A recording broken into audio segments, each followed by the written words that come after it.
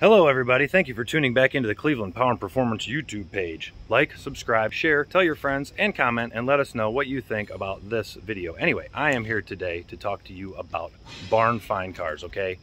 Looks like there's a barn behind me there, but that's actually our paint and body shop. Me flip around here. All right, there's our trailer behind me, okay? And the trailer is essential for the barn find cars.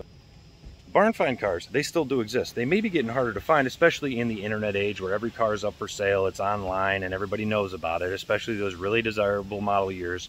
Yet there are still little diamonds in the rough and hidden gems out there, okay? You just gotta get out there, you gotta talk to people, you gotta be in the know sometimes, and sometimes people gotta let you know what they have and what they're willing to sell.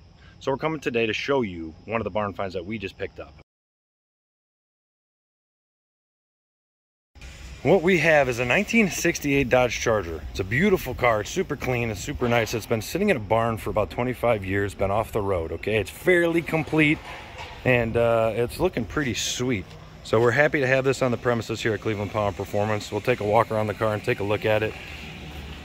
It's in good shape, pretty solid, very fairly complete.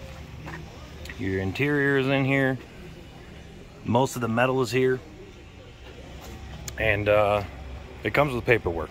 It has paperwork, which is an important one. It's got the grill in there.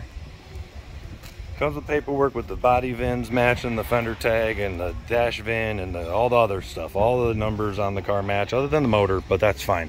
Still debating on what to do with it. What we'd like to do with it is build a resto mod for a customer because we love doing that with these B bodies, doing a Hellcat swap, a 6.4 swap, or LS swap, whatever. Whatever you want to do.